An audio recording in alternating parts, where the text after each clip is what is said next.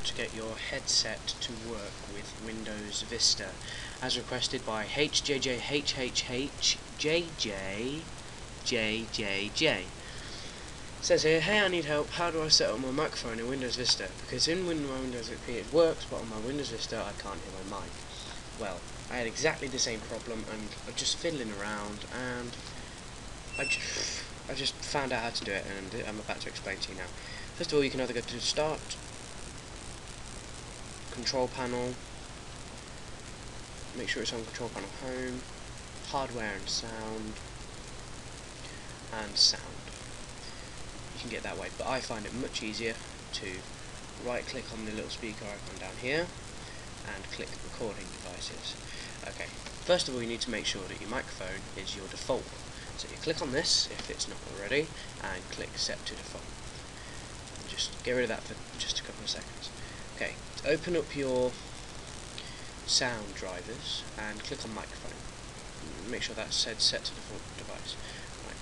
You don't really want this all the way up, you want it all the way down, or muted. Um, you want this all the way up because it's the volume of your recording, and click here if you need to boost it. I need to boost mine by 20 decibels to make it nice and clear. Okay, simple, simple, simple, simple stuff. Okay, now back back to this bit here, right click recording devices. Um, what I'd like to do is double click this, and then you've got this here, you can name it something if you want. Webcam mic, that's what mine is.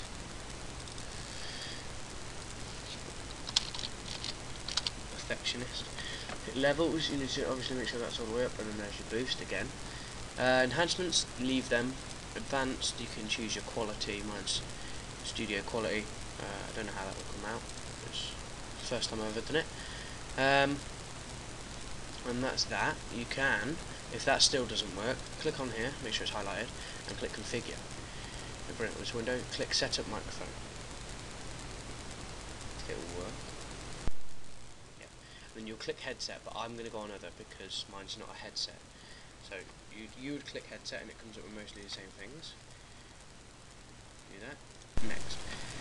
Peter dictates to his computer. He prefers it to typing and particularly prefers it to pen and paper. Okay, so that's that. And then it should say next, but yeah, mine, mine didn't do it, but it should say next, and then what it comes up then is confirmation, and you click finish. And that should that be that completely. Any questions, please just comment, and thank you for watching and listening. And don't forget to subscribe for any more. That's it. That's the one. Thank you.